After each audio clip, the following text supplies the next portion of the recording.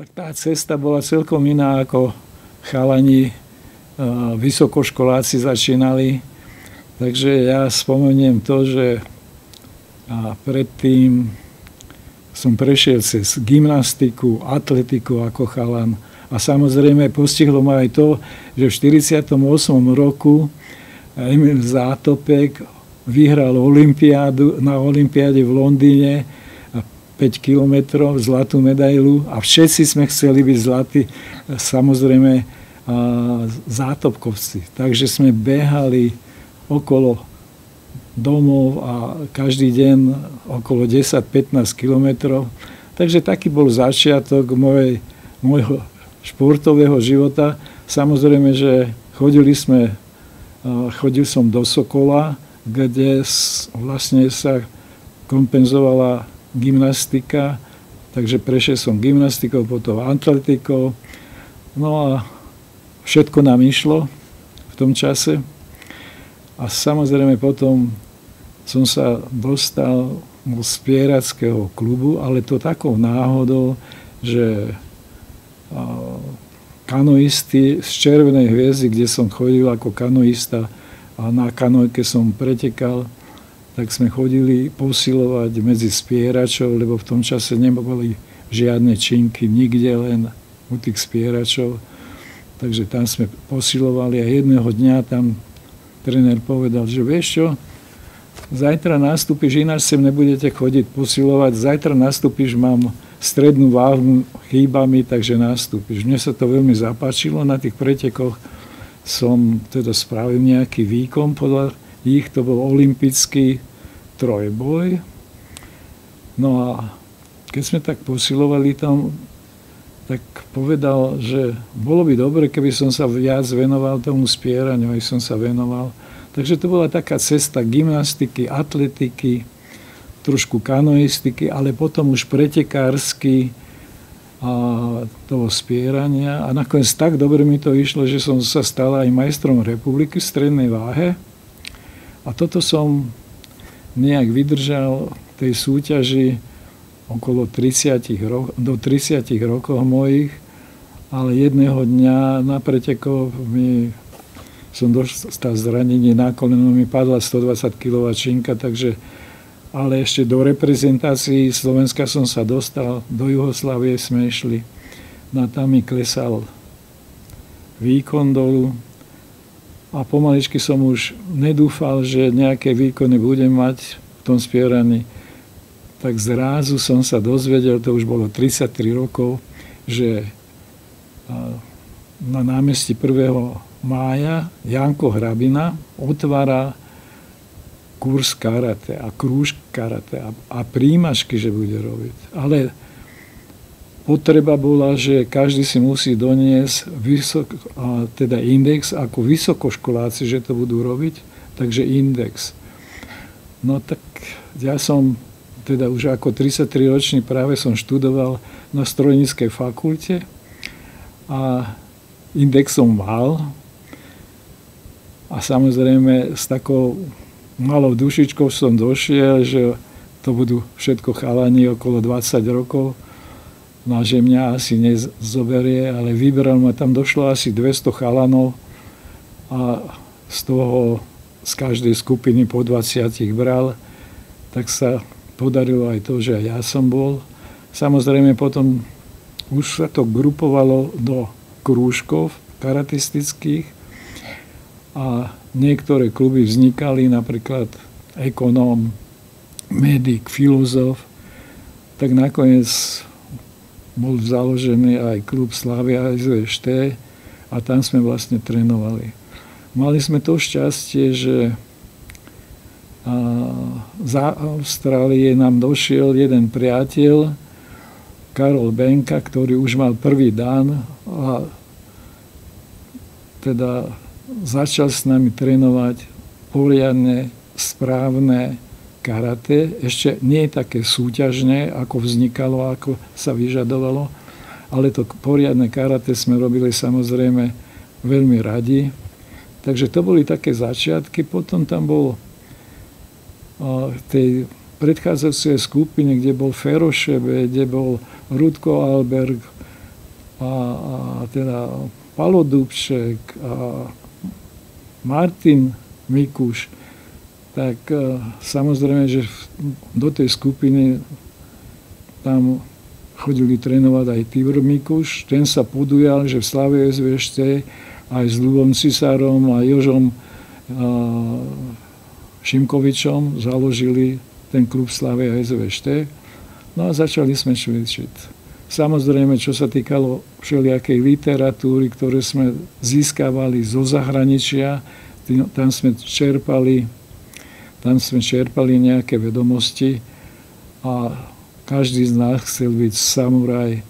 Takže ja som mal tú výhodu, že keď už som tých 33 rokov začal to karate robiť, že mal som nejaký náskok v kondičnej príprave, aj uvoľnenosti, takže veľmi ľahko mi to išlo ale tie tréningy, ktoré sme robili, samozrejme mali veľký vplyv na to, že tá čistota tých technik, ktoré sme robili a, a ten a, tréningový boj, a čo sa týkalo na kumite a tak ďalej, tak sme mali dobrého učiteľa toho Karola Benku a samozrejme po nejakom čase vlastne sa dostal k nám aj majster Ugava a zúčastňovali sme sa jeho sústredení, jeho tréningov a to boli vlastne začiatky veľmi odborného cvičenia karate.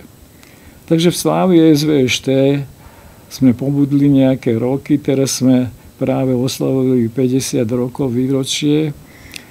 No a keď sa spätne si spomínal v tých 50 rokoch, tak eh, veľký význam bol ten, že boli sme špičkou československého karate, Slavia SVŠT, samozrejme aj iné kluby boli, ale keď boli také celorepublikové nejaké súťaže, tak samozrejme sme sa tam stretávali aj s ostatnými priateľmi, čo sa týkalo ekonómu, rapidu, mediku a tak ďalej. Takže bola to jedna veľká partia a samozrejme sme sa snažili priblížiť v tom karatistickom súťažení aj čo sa týka kat, ale priznám sa, že v Slávie SV ešte v tom čase sme ako kata necvičili súťažne, ale boli sme dobré družstvo na kumite. Nakoniec medzi nás teda sa dostal aj Lacko Salaj, ktorý mal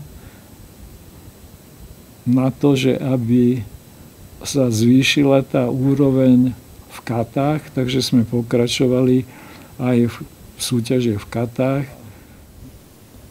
Ja som mal to šťastie, že Ivan Spišiak, Ličko Spišiak sa dostal do Švajčiarska, do Curichu a tam sa zoznámil majstrom Jahuačinom. No a to bolo, myslím, 79. roku, keď on tam bol. A keď sa vrátil, tak samozrejme tam sa dostal na jeho tréningy a majster Jav sa stal národným trénerom Švajčiarov v 82. roku a keď dával dohromady Manšav za Švajčiarsko, tak do tréningového tábora pozval Ivana Spišiaka, aj mňa a tie tréningy, ktoré sme teda tam absolvovali, veľmi sa mu to páčilo a samozrejme z toho vzniklo veľké puto, veľ, veľké priateľstvo s majstrom Javom, takže a, jeho tréningy nám strašne veľa pomohli k ďalšiemu napredovaniu čistoty techník, čistoty kát. A boli sme fascinovaní tým, že ako všetko, vlastne aj tú múdrosť do toho dával a tú etiku, ktorú sme vlastne brali od neho. Takže pomohol nám k ďalšiemu rozvoju. No a v tom Cúrichu, keď sme boli, tom 82. roku s Ičkom s Pišiakom, tak samozrejme sme sa vrátili a tá úroveň bola trošku iná, lebo Ječko Spišiak, ten si hlavne zapisoval všetky tréningy, že, ktoré boli a samozrejme sme to absolvovali za nových podmienok. No a spomeniem ešte to, že v tom období v tej slávy SVŠC veľmi tvrdé tréningy sme dostávali od Tibora Mikuša, ktorý bol veľmi dobrý karatista. Zdá sa mi, že on prvý doniesol nejakú medailu z majstrovstiev Európy, sa mi zdá, že bronzovú medailu a pozerali sme na ňo jak na vysokého technika a odborníka na to karate, takže v Slavie ešte nás trénoval aj on. No a postupom času sa dostala mládež k nám. Môžem spomenúť teda Lacka, Salaja, Peter Žák a ešte nejakí chalani, ktorí skutočne Ludvo Kopka, ktorí sme teda spoločne ako s nima trénovali. A samozrejme môžem znovu povedať, že tá úroveň kata, ktorú sme neradi robili, väčšinou sme to robili len vtedy, keď bolo potrebné ísť na skúšky, že aby sme sa poriadne naučili ten, tie niektoré kata, ktoré boli vyžadované na jednotlivé stupne technickej vyspelosti. No a počase môžem spomenúť to, že fakt sme boli špičkou toho československého karate. Samozrejme, nehovorím, že v ekonóme a v mediku a tak ďalej. Všade boli chalani, ktorí skutočne dobre súťažili. No a z tých spomenutých veľkých súťaží by som spomenul, že sme boli v Zágrebe, kde skutočne sme dosiahli veľký úspech, všetci nám tlieskali, hoď to bola sa mi zdá, že bronzová medaila. A potom ďalšie, tá, ďalšie také veľké preteky boli v Miláne, kde sme boli sem finalisti tej súťaže. Na ceste do finále sme naše družstvo, teda naše družstvo vyradilo niekoľko talianských družstiev a juhoslovanských družstiev a, do finále sme nastúpili samozrejme s Jugoslovanmi a hlavným, tren, hlavným rozhodcom celej súťaže v Miláne bol doktor Jorga, ktorý vlastne nám aj od prezentoval teda, že rozhodovanie No a nakoniec sme to finále prehrali, ale všetci hovorili o tom, že sme morálni výťazi. Takže do, donesli sme si krásnu, krásnu cenu, jednu vysokú a, teda cenu, ktorá bola pre nás veľkým akože potešením a z toho sme vlastne žili. To pretože som prešiel gymnastikou, prešiel som atletikou, tak do toho karaste som vniesol aj čo sa týkalo kondičnej prípravy, veľké a nové veci. A samozrejme, že v tom čase sa napríklad nehovorilo o tom, že existuje stretching. Ja som používal, pretože som jogu robil, tak som používal každom tom tréningovom procese aj nejaké, nejaké cviky z jogy, ktoré vlastne uvoľňovali celé telo. A preto títo naši chalani samozrejme dokázali kopnúť na hlavu alebo krásne ašibaraj spraviť a tak ďalej. A tá ich bojovnosť samozrejme vznikala aj toho, že boli úžasne uvoľnení, boli, boli, boli príprave také prvky, že napríklad ľahký boxing a, a skákanie so švihadlom, čo sme zobrali zase čo zase vlastne Ivan Spišiak doniesol do toho. Takže čo sa týka môjho veku v tom čase, bol som nejak pripravený. Títo chalani, ktorí nastúpili, predtým niektorí nerobili žiaden šport, takže museli prejsť tou cestou tvrdšou a samozrejme veľa im to pomáhalo a veľa nám akože to spravilo radosť tým, že teda boli sme veľmi dobre pripravení na tie jednotlivé súťaže. Ako no, je to teraz? Teraz, teraz to máme tak, že trénujeme deti od 6 rokov, lebo to karate sme začínali, väčšinou keď sa robili nábory, tak samozrejme to bola oblasť vysokoškolákov a tí začali chodiť na to karate, rozťahli sa po celom Slovensku. Teraz sme začali cvičiť tak, a hlavne teda tie deti, že vedeli sme ich pripraviť na tie súťaže v katách a kumité sme vlastne veľa necvičili, pretože rodičia sa báli o to, že to je tvrdé karate a, a prehovorili nás, že teda, aby sme išli tou inou cestou, aj sme išli a touto cestou sme vlastne získavali nejaké umenie. No a čo sa týka mňa, tak ja som a, bol aj neskôr akože pretekajúcim trénerom do 44. roku. Ešte nastupovali v súťaži v, v kumite na niektorých teda celo československých súťažiach a ligy. Takže a potom som sa vlastne upriamil len čisto na trénovanie a samozrejme to trénovanie som obohacoval tým, že vlastne prvky z tajči, lebo od majstra Java sme sa naučili tajči poriadne, čikungu, vajtankungu.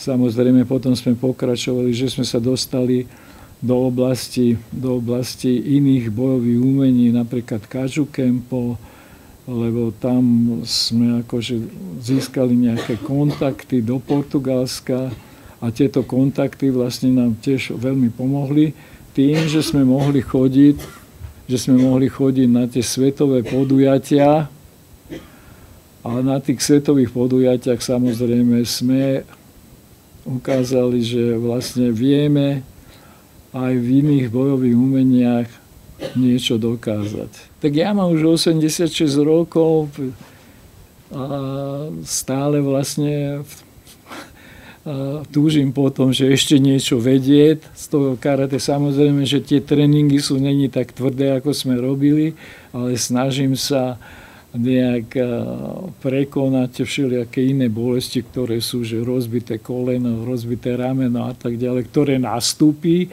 samozrejme u každého jedného, lebo žiadna rehabilitácia bola, kedy nebola, že by boli nejaké preteky a došiel tréner a teraz pomasíroval a tak ďalej.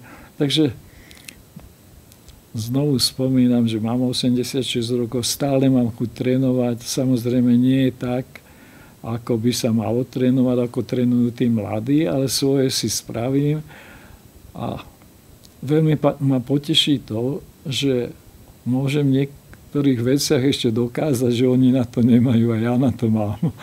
tak, takže, tak to nejak vyzerá, terajší boj.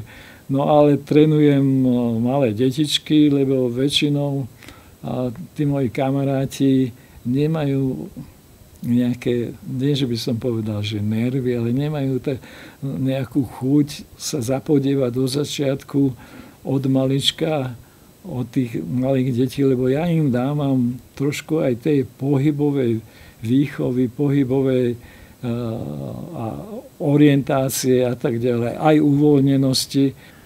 Ja vlastne pri tom spieraní, pri tom spieraní, jak som sa dostal z tej kanoistiky pri tom spieraní, tak samozrejme sme chodili po Dunaji a a prevážali sme tréningy naše, boli na tých kanálkach do, na Kormorán, to bol taký ostrov a nedaleko nás, jak sme my mali svoje dráhy, tak o, boli armádni potapači a tam sme chodili ich vlastne obkukovať, lebo to bolo niečo fantastické pre nás, že sme videli vlastne v 100-kilových oblekoch, v skafandroch, chlapcov, ktorí sa ponárali do vody A samozrejme, mali sme aj nejakú reč s tým veliteľom tej roty potapackej, to bol 52.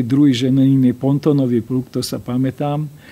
A jak som tam bol, ma to úžasne zaujalo. A ten veliteľ toho povedal, že ty si ešte nebol na vojne. Hovorím, nie, teraz sa idem. Tak pôjdeš k nám, k potapačom. Veľmi som sa tešil v tej dúkle, že ja už nebudem spierať, že vlastne chcem sa dostať, samozrejme, že do Bratislavy, lebo ten 52. ženiny pontonový pluk bol v Bratislave. Tak ma vyžiadali naspäť, bol som potapačom, ale vtedy neboli ľahké súpravy potapacké, ale 100-kilové skafandre. To znamená, vpredu sme mali závažie, na chrbáte topánky mali 25 kg, helma kovová, jak kozmonauti. Môžem vám potom ukázať aj niekedy fotky nejaké, ktoré mám. Skutočne ako kozmonauti sme vyzerali. Takže a pretože som bol kondične pripravený, tak mi to veľmi ľahko išlo. A v tom prvom roku sme mali veľmi, veľmi ťažký, ťažké cvičenia, takto ako my sme ešte cvičili tvrdo na vojne Paragáni a my. No a potom v tom druhom roku som sa stal veliteľom Čety potapačov, teda bol som veliteľom špeciálnej jednotky v tomto pluku, No a chodili sme na všelijaké záchranné práce, vyťahovali sme sem tam aj utopených ľudí, alebo na hydrocentrále nejakej uletela tá pohonná hmota z toho, z tej turbíny, tak to sme vyťahovali. A sme dos- sa dostali pozvanie ako potápači na Macochu, to je moravský kras, na Macochu, kde rieka Pungo ale e, preteká asi 5 kilometrov pod zemi. No a na tej Macoche vlastne sme mali objavovať nové priestory. Tak v tých nových priestoroch, kde sme boli, tak nakoniec sa stalo to, že ja som